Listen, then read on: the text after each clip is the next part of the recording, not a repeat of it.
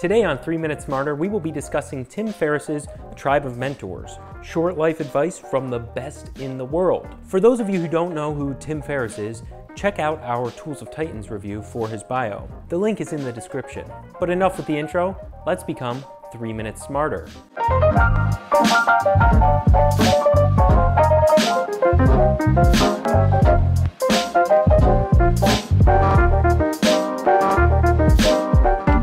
Okay, so what is this book and why is it important? Well, everyone knows the value of mentors. Throughout our lives, we try to form relationships, formal and informal, to learn from others' experiences and perspectives.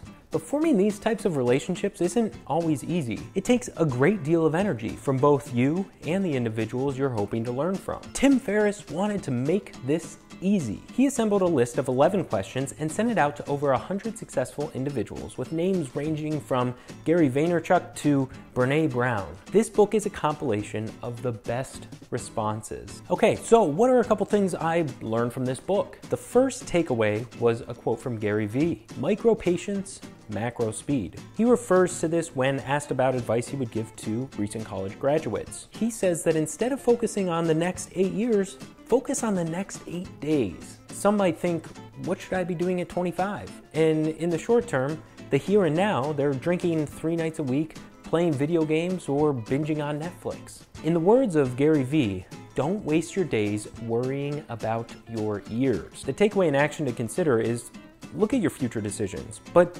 stay present. Milk every day for every second that it provides. The next takeaway was from Steve Aoki, a two-time Grammy-nominated producer slash DJ and all-around entrepreneur. He averages over 250 tour dates each year. He's always on the road. I don't know about you, but when I travel, I find it difficult to find and stick to a daily routine. Aoki combats this through the creation of an accountability group with those he travels with. He utilizes a group chat where everyone can prove they completed a certain workout or maintained a healthy diet for the day.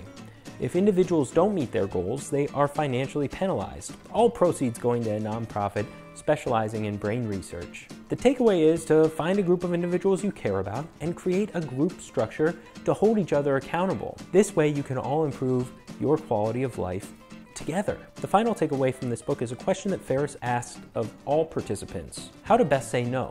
Often we're inundated in our personal and professional lives with requests to help with something. Many times these requests can throw us off track or cause undue stress. There are a lot of great responses to this question in this book, responses that will provide major benefits to you.